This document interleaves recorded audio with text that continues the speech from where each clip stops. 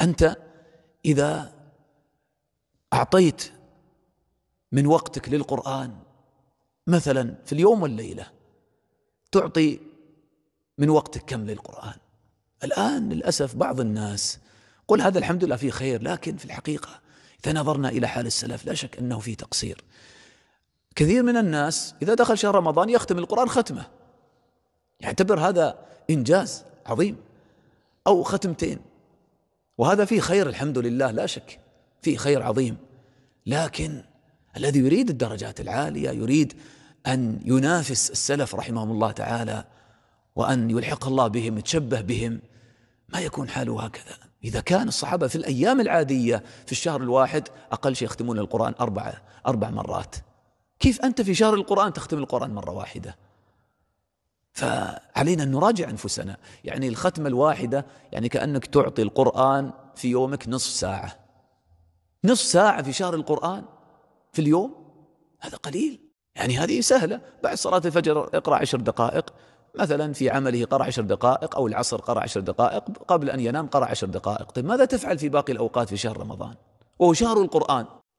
لذلك هذا حال كثير من الناس يعني يضيع الأوقات في القيل والقال والمجالس واللعب والكرة والطائرة والمسلسلات و ويرى أنه ختم ختم القرآن هو مرتاح. لما ينتهي شهر رمضان من السهل أن يتنازل عن هذا الوقت لأنه ما كون صلة قوية بينه وبين القرآن لأن من السهل يقرأ نص ساعة يقسمها عشر دقائق عشر دقائق وينتهي. لكن الذي يعطي القرآن من وقت مثلا أقل شيء خمس ساعات ساعة في الصباح ساعة في الظهر ساعة العصر ساعتين العشاء. ستكون بينه وبين القرآن علاقة وطيدة وصلة وثيقة. لأن إذا أعطى من وقته خمس ساعات مثلا للقرآن يعني أقل شيء ممكن كل يومين أو ثلاثة أيام يختم ختمة. يعني ممكن يختم في رمضان عشر ختمات أو أكثر. هذا الذي يختم عشر ختمات تخيل في شهر واحد مستحيل إذا خرج رمضان أن يهجر القرآن وما يقرأه. على الأقل سيقرأ القرآن في الشهر مرة يختم كل شهر مرة. وربما هذه الختمات تؤثر في قلبه تعلق قلبه بالقرآن فيفكر في حفظ القرآن يحفظ القرآن. و آه، انظر هذه الختمات الكثيرة المتوالية المتكررة تظن أنها لا تؤثر في قلبك؟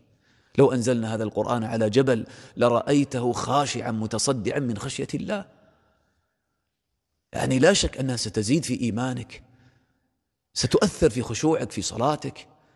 ولذلك يعني الإقبال على القرآن في شهر رمضان له أثر كبير جدا على الإنسان.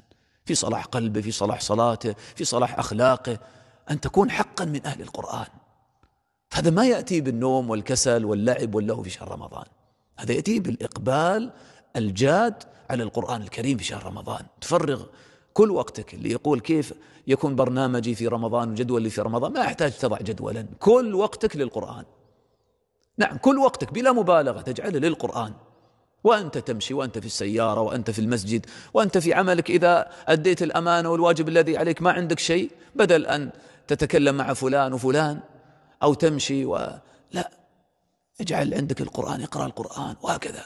تقضي كل أوقاتك في الليل والنهار في القرآن الكريم. ستجد حلاوة ستجد لذة. فهذه فرصة عظيمة لأن نصلح حالنا مع القرآن الكريم في شهر رمضان.